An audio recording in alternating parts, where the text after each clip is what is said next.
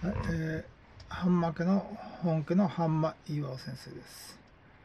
えー世界のね、死刑制度というのはね、えーあの絶対必要なんですね。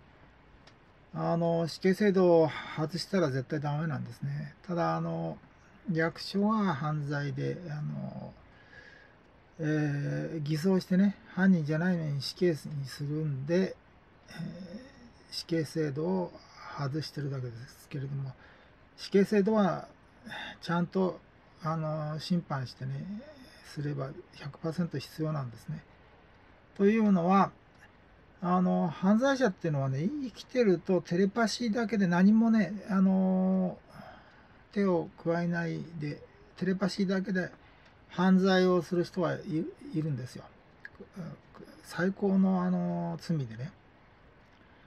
それはね、あの、捕まえていようが、刑務所に入れていようが、死刑にしない限り、犯罪やめませんから、テレパシーで動かして犯罪します。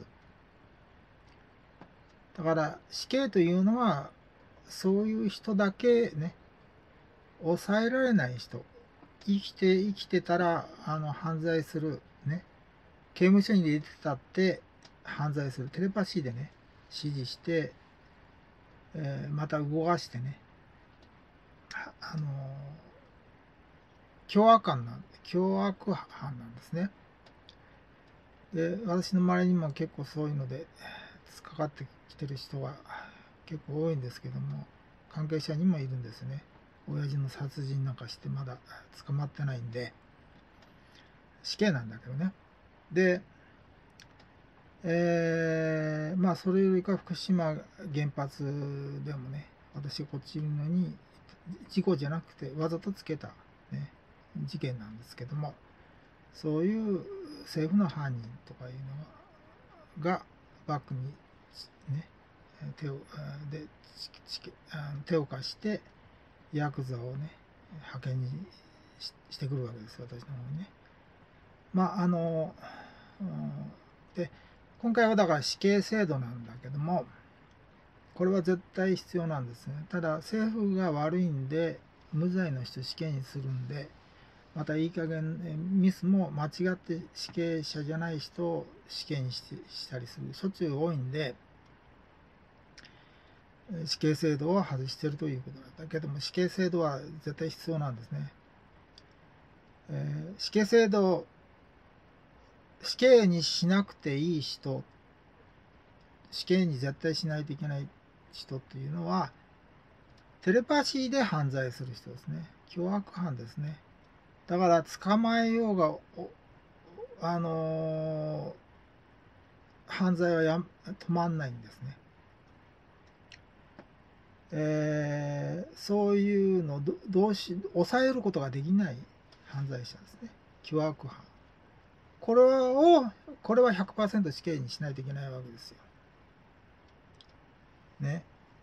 で、あのー犯罪抑えることできないでしょ？死刑にしない限り。だそれだけが、それ以外は絶対死刑しちゃいけないわけです。何でもいけないんですね。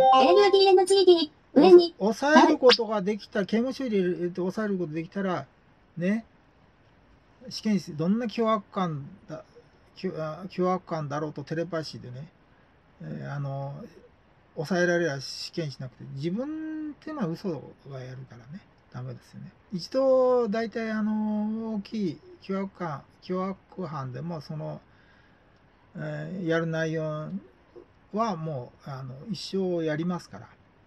だからテレパシーの犯罪はだけですね、えーの凶悪犯はあの捕まえても捕まえることができない抑えられないから死刑にしないといけないわけですね。テレパシーを使った。最高のあの捜査の犯罪ですからね、えー証拠も何も残らないね、えーわけじゃないけども頭聞けば分かりますけどね。あのこれが試験しないといけないね。ただ間違えるんで裁判官がまた悪いんで間違えるしいい加減にもするんで無罪の人を死刑にしてしまうんでそれで世界死刑制度はあのが減ってきたわけですね。泥棒とかいうのは全然死刑中国はいけないことですね。多いですね。そんなの泥棒で死刑はねダメですね。何でも。凶悪犯ですね。あのマリファナ運んだからっていうこれ死刑もダメでね。あの懲役ですね。全部ね。これは間違い正しいあの採決方法ですね。死刑にするのは知能犯でテレパシーで犯罪する人で抑えられない人ね。刑務所に入れても犯罪を止めることができない人を死刑にするということですね。あの100%抑える抑えてね犯罪をやめさせることができない人を死刑にすることですね。あのテレパシーを使ってのですね犯罪というですね。そういうことをよく勉強していただきたいということですね。上の生物として、えー、話してまして、えー、人間には話したり聞いたりすることできないんで人間を動かす上の生物には教えてるとですねさらに私は上なんであの、えー、人間を操作するね管理できできるまたあのあの都合でね関連して、えー、動く時ですね私の方の仕事にね、えー、妨害にならない正しく世の中で、えー、動いていけるということでねあの人間の上の生物ね。人間に話した700年後しかわからないですからせいぜい長く教えたってね。くたべるばっかしですね。全く意味ないです。で単なる今日は肉食生物ですからね。泥棒が仕事ですから100%。ね、あとあの世界破壊を起こすわけですね。